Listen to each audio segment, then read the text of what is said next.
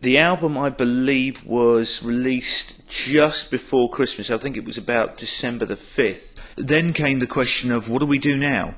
So we thought that it might be a good idea to take these songs out and play them live. But at the time, we didn't have a drummer. I'd played most of the drums in the studio. This meant trying to find some individual that would be willing to fill the drum stool while I was playing guitar and singing. Fortunately, after a little bit of searching, we managed to make contact with a gentleman called Leon.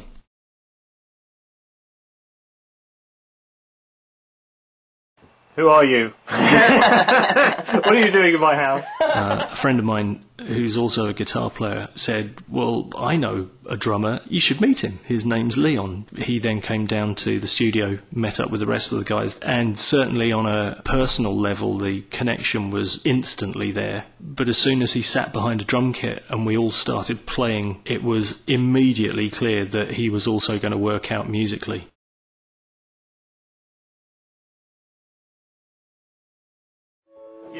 Should have done a bit of uh, more preparation, but I got caught in rock songwriting line last night, so sorry about oh, well. that. What? Preparation a song called Leicester Square Heroes. Leicester Square Heroes?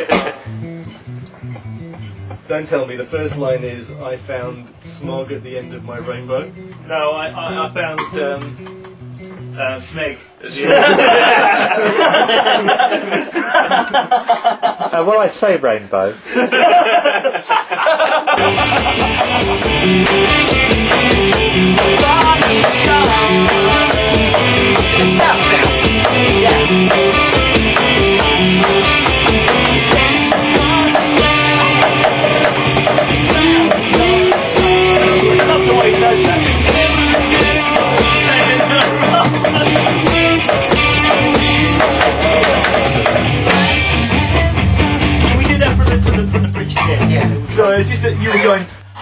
Hi, ladies yeah, we're so and so, we're, we're Wizard's Fist, we're going to be coming on tonight. Wizard's Fist! no, not Wizard's Sleeve. Wizard's Fist!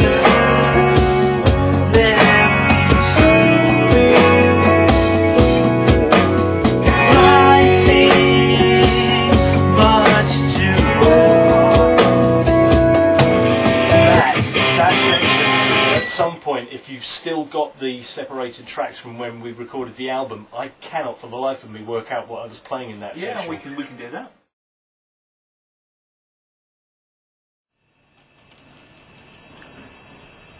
What are you doing, Paul?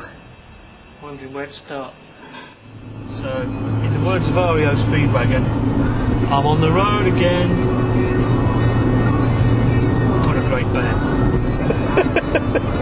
Band. saw them once, twice. Three, Three times, times a lady. I lied, boys. Shut up. Before the black, cold, dark noses could touch my thighs, I poured myself a drink for the suicidal into a chair and proceeded to twist the bottle's neck until I woke up in Ecuador with two pairs of pants and a big bone nurse who said she had contacts on the inside, that is. Playing live is uh, is kind of a strange experience for me. I absolutely love it, um, but if you were an impartial observer, you would probably think that I was the person least enjoying my time on stage. The fact is, I really, really do enjoy it. Uh, I get really, really nervous before playing live, less so now than I used to. But I do tend to, to concentrate very, very hard on what I'm doing when I'm playing live because I'm aware that you know people have paid to come and see us. You know, it's very much substance above style.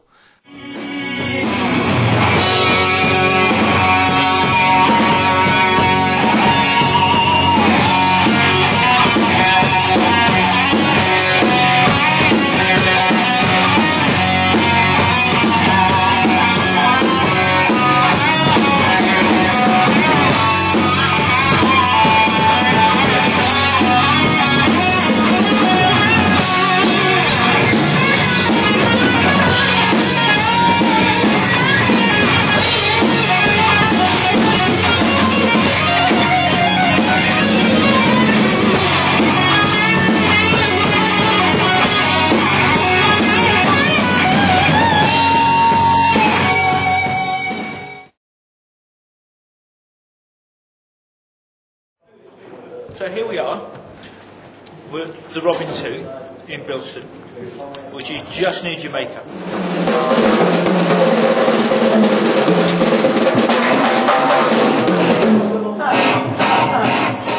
Paul is such a rock. He gives me the freedom to be that slightly more showy player that I enjoy being. He's just there. It doesn't matter where you are or where you think you are playing. If you get lost, all I know is I look over and he's there and he's solid. We Tinyfish do not um, d- agree with drug use in any way whatsoever. No. Neither do we agree with uh, real ale. But at the same time, not wanting to alienate drug users.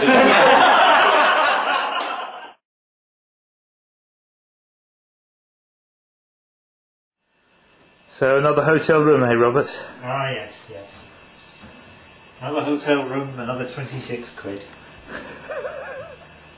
That's for the hotel room, not what. Oh, never mind.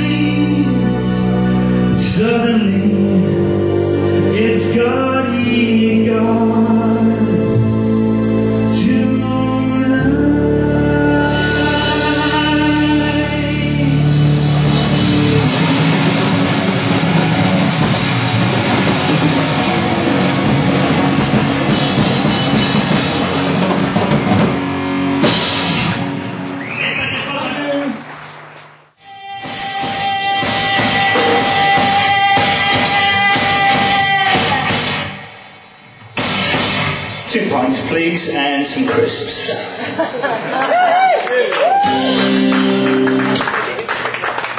Stop it. Thank you. Um, do you want, I mean, that was the sound sheet. Do you want us just to go straight into the set? As you're all here?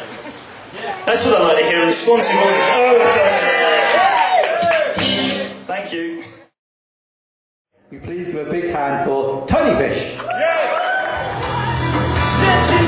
You